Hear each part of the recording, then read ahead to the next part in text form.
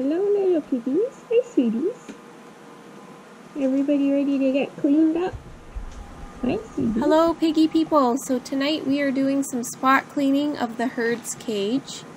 Their cage is a 3 by 13 and a half, I believe, C&C cage. So with fleece, you need to spot clean twice a day is what I recommend because there's poops everywhere. The piggies just love to leave little presents. I also take the opportunity while I'm spot cleaning to check all the little pads. So they're pads in their beds and I also have pads where they're eating their hay. I change those as soon as they're soiled. The pads are just like the fleece cage liners. So there is two layers of U-Haul sandwiched between the fleece. So they work excellent for absorbing pee. And if any pads that kind of look yucky on top, I will flip them over and use the other side. So that's a little trick that I do. Make sure that I use both sides. And then I'm using my little trusty glove here to sweep up all the poops. Sometimes I wish the poops were worth some money so that I could sell them. Wouldn't it be nice if they were made of gold? But they aren't. One of my favorite things when I am cleaning up the cages, whether it's just spot cleaning or a full cage clean, is I love how curious piggies are. They always have to come over to see what you're doing, check out how you're cleaning, see if you've moved anything. It's always so adorable. One of my absolute favorite things about the pigs. And it's always a great way to know that your pigs are feeling well if they are coming around and checking stuff out. There's little Reese Bear. Where did she go?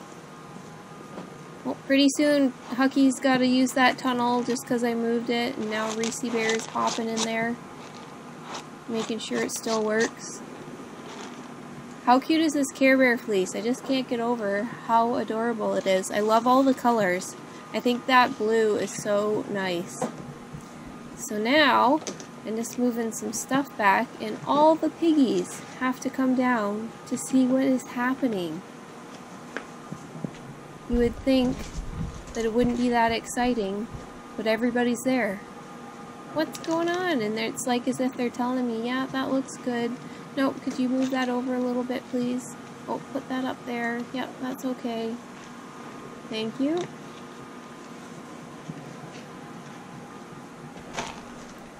Now we're moving on to the section where their hay is, which is always an absolute disaster. Doesn't matter how nice it starts out, it just becomes a big, big mess.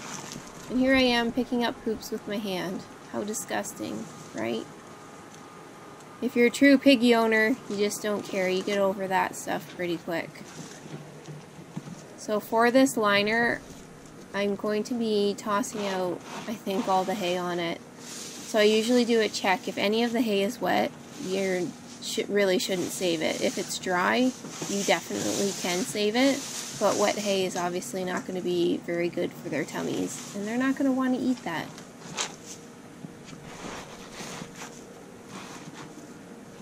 So the big fleece liners here, I will shake out into the garbage like I usually do. I always have a huge garbage can in the corner of the room. And it works out excellent. I used to take stuff outside, but I found it was such a hassle to actually literally have to go outside, especially in the winter, and try and shake that stuff off outside. So now I just do it in the room. And it seems so much quicker, so much easier. So now I'm flipping this over to use the other side because as I mentioned, I'll use one side in the morning and then at night we'll flip to the other side and then tomorrow morning they'll get a whole brand new one. I just want to always make sure that they're standing on fresh fleece. I wouldn't want anybody to be having any sore feet or any bacteria problems from standing on yucky fleece. So that's what I definitely recommend is that you change stuff that they're constantly peeing on quite often. Now I've got another large liner. So I like to have a liner where their hay boxes are. And then I also do a lot of piles for the herd just to really spread out the hay and encourage them to eat a lot. So I usually have two two by threes that I need to shake out for the herd every day. And I always feel sad when it matches in the morning, but that now I'm going to be using the mermaid side to go along with the Care Bears, and their fleece doesn't match anymore. What can you do? So just shaking all that stuff off and we're going back. There's baby pig.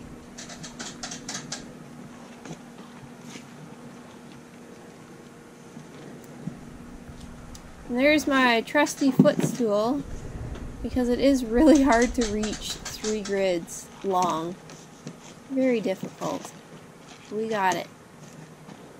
So you'll notice that I put wood logs on top of these areas and that is because Huckle is a fleece digger so he will go under the mats where I have the hay on top of and I do not like it because especially when I have flipped the liner so the dirty side is down, I hate him going under there because it's so gross. And guess who's under here? Any guesses? Baby. There's somebody moving. And it looks Hi, like a baby. baby. It's a baby pig. What are you doing? She's so cute. What are you doing? She doesn't dig, but that part I mm-hmm. hadn't flipped over all the way, so she thought it was a cool tunnel. Cute little baby pig. But Huckle, worst digger ever. Even though I put these wood logs on to keep it heavy, there's always days where he'll find a spot where he can go under.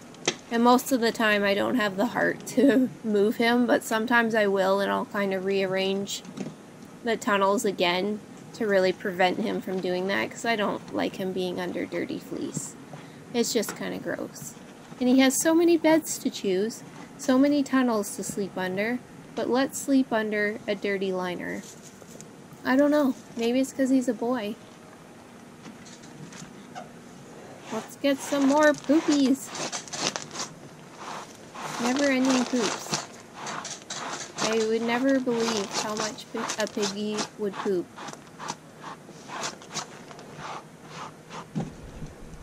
Well guys, thanks for watching the video. I'll let you enjoy the rest. If you have any comments, leave them down below. And I will see you guys in the next video. Bye-bye!